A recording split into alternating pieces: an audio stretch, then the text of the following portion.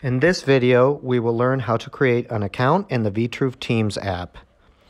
When we open the app, the first thing that we see is this screen, which is the login screen.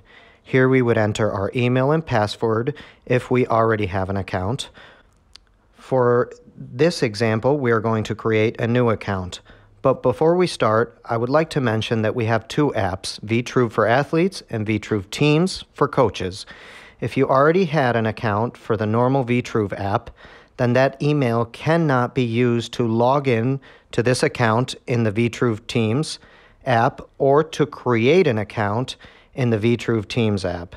The reason being that in the normal Vitruve app, you are an athlete and you already have your data in an account created with that email.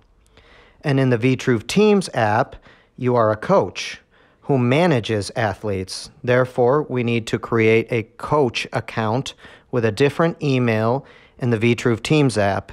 And later on, we will show you how to import your athlete from the Vitruve individual app to this app. But like I said, the email you have to use here to create an account or to log in has to be a different one than the one you used for the normal Vitruve app.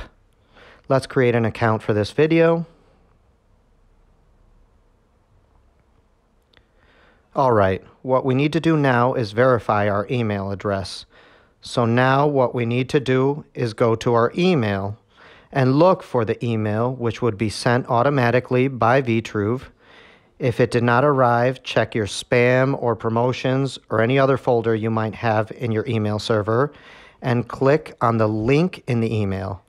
Once you've verified your email by clicking on the link, you simply click continue. And here we have two steps to complete our registration. First, we have to enter the name of our organization, whether it be a sports club, a team, a university, or whatever it may be.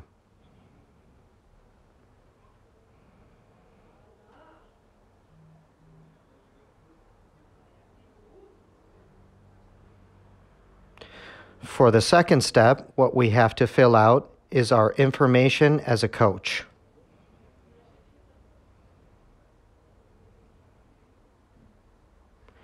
And once finalized, we should be able to use the Vitruve Teams app.